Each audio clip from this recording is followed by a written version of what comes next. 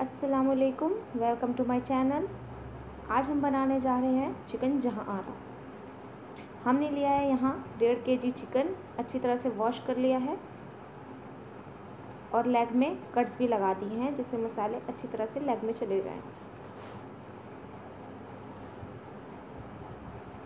यहाँ लिया है 100 ग्राम फ्रेश दही वन टेबल स्पून अदरक लहसुन का पेस्ट दो मीडियम साइज़ के प्याज, एक नींबू, एक छोटी कटोरी हरा धनिया पत्ती, दो टीस्पून काली मिर्च, दो टीस्पून नमक, पंद्रह हरी मिर्च। हमने इन सब मसालों को ग्राइंड कर लिया है। अब हम ये सारे मसाले, जो भी हमने आपको दिखाए थे, वो सारे मसाले हम चिकन के अंदर लगा देंगे। अच्छे से मिक्स कर लेंगे। ये प्याज, हरी मिर्च, नमक, काली मिर्च, जो भी मसाले हमने अभी आपको दिखलाए थे, सारे मसाले एक साथ मिला के ग्राइंड कर लिया है। दही, अदरक, लहसुन सबको मिला के जिससे एक फाइन पेस्ट बन गया है। अब उसको, हम मसालों को अच्छे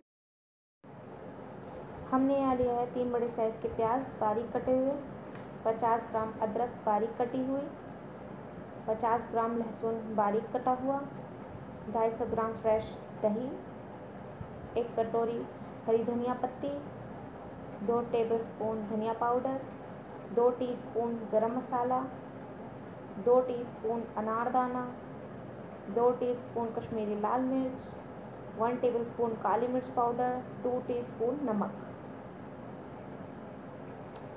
आठ कुटी हरी मिर्च, तीन तेज़पत्ता, चार सूखी लाल मिर्च, एक टेबलस्पून कसूरी मेथी, दस लौंग और पाँच इलायची। हमने बड़ी कढ़ाई ली है और उसमें 250 ग्राम ऑयल डाल के गरम कर लिया है। अब हम चिकन में अच्छे से मसाला एक बार फिर से लगा लेंगे, ऊपर नीचे कर लेंगे, जिससे मसाला फिर से अच्छे से चिकन पे लग जाए। अब हम इसमें चिकन डाल के फ्राई करेंगे, हाफ़ फ्राई करेंगे।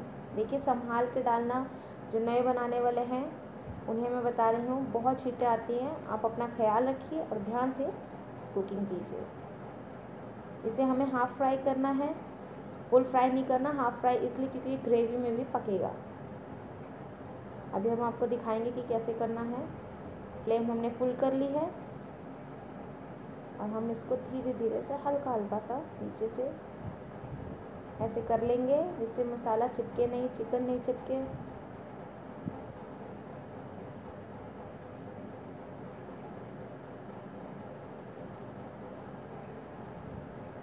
अब ये चिकन हो गया है हाफ़ फ्राई हो गया है, देखिए।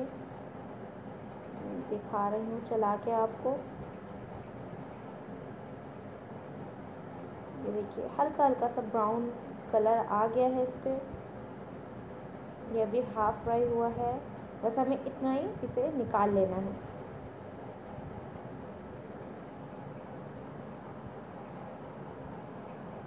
अब हम इसे निकाल लेंगे।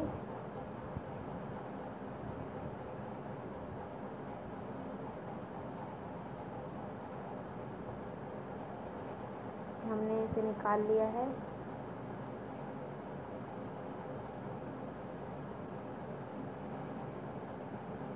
ये देखिए।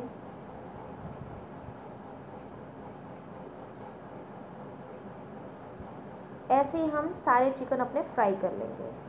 जो बचे हुए चिकन है, सबको फ्राई करना है ऐसे ही। यहाँ हमने बड़ी कढ़ाई ली है और इसमें ढाई सौ ग्राम ऑयल डाल के गर्म कर लिया है। अब हम इसमें डालेंगे तेज पत्ता, सूखी लाल मिर्च, लौंग इलायची, कसूरी मेथी और कुटी हुई हरी मिर्च।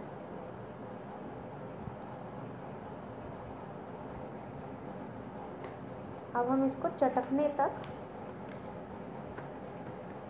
पकाएँगे ऐसे चला लेंगे।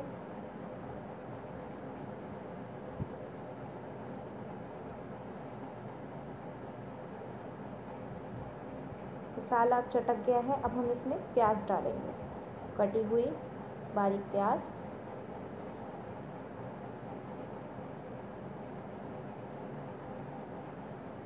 ये हमने डाल दी है।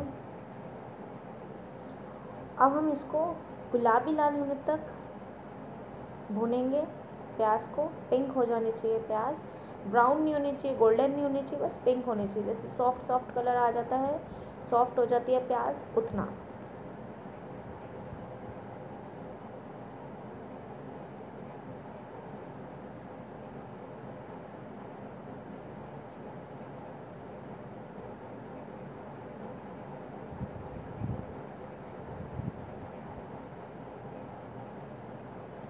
अब हम इसमें अदरक, लहसुन डाल लेंगे। प्याज हमारी पिंक हो चुकी थी। अब हम इसको दो मिनट के लिए फिर से पकाएँगे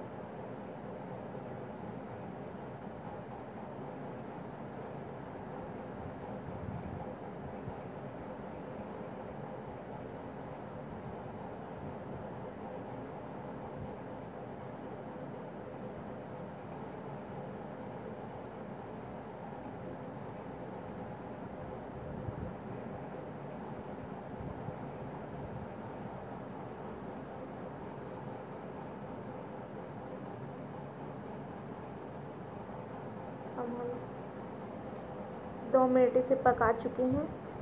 अब हम इसमें डालेंगे अपने सूखे मसाले। ये देखिए, जो जितने भी सूखे मसाले थे, हम सब इसमें डाल देंगे। धनिया, गरम मसाला अनारदाना नमक, काली मिर्च और लाल मिर्च पाउडर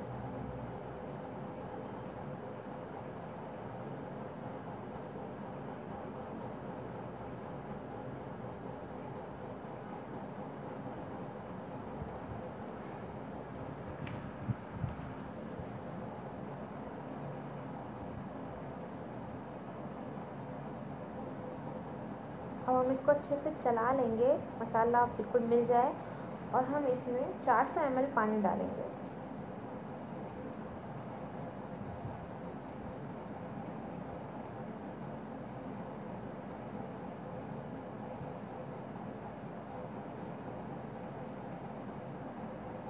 ये आप दो बार देख रहे हैं मैंने इसमें दो बार पानी डाला है। ये सारा पानी 400 सौ है, आप एक साथ इसको डाल सकते हैं। मसाले पे देखिए ऑयल आने लगा है। अब हम इसको ढाक देंगे। दस मिनट बाद हम इसे देखेंगे। दस मिनट हो चुका है।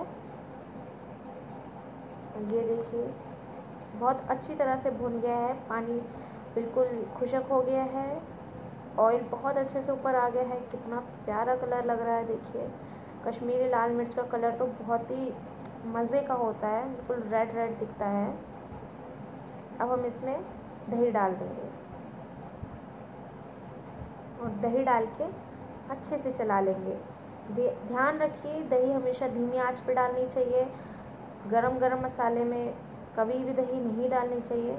आप पहले धीमी आँच कर लीजिए, जब मसाला थोड़ा उबलना बंद हो जाए, तब उसके अंदर दही डाल दीजिए। फिर उसे अच्छे से मिक्स कर लीजिए और फिर अपनी आँच तेज़ कर लीजिए। अब उबाल आ गया है। दही भी अच्छे से मिक्स हो चुकी है, उबाल भी आ चुका है, पानी भी खुशक हो गया है इसका। अब हम इसमें चिकन डाल देंगे। सारा चिकन हमने इसमें डाल दिया है, जो हाफ़ डन किया हुआ था हाफ़ फ्राई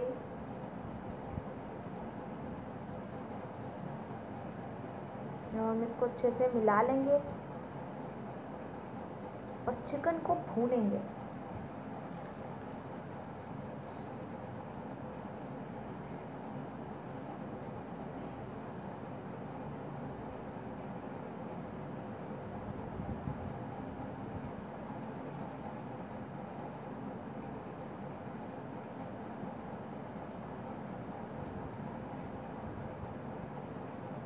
देखिए हम चिकन को भून रहे हैं। बहुत ही अच्छी खुशबू आ रही है। अनारदाना का फ्लेवर तो लाजवाब होता है। आप इस अपने लोकल मार्केट में आसानी से परचेज़ कर सकते हैं।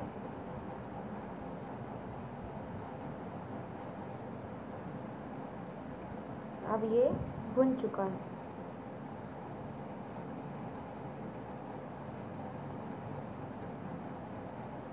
इसमें 100 एम पानी डालेंगे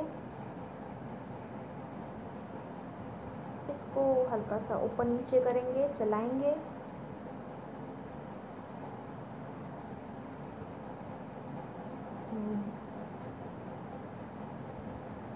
अब हम इसको 10 मिनट के लिए ढाक देंगे, जिससे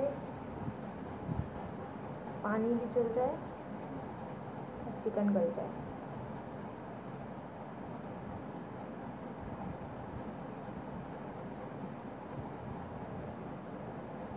ये देखिए 10 मिनट हो चुका है। मैंने गैस ऑफ़ कर दिया है और चिकन बन के तैयार हो गया है। लजीज चिकन जहाँ आ रहा, ये देखिए। चिकन अच्छे से पक चुका है।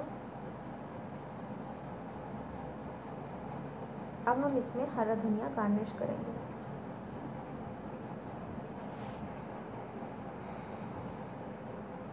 ये आप अपने मेहमानों को खिलाइए, ख़ुद खाइए, बच्चों को खिलाइए। बहुत ही लजीज डिश है, एक बार ट्राई कीजिए। इन आपको पसंद आएगी। ये देखिए, हमने डिश आउट कर दिया है। प्याज, नींबू और गर्मा गर्म नान के साथ हमने सर्व किया है। ट्राई कीजिए और कमेंट सेक्शन में बताइए। अल्लाह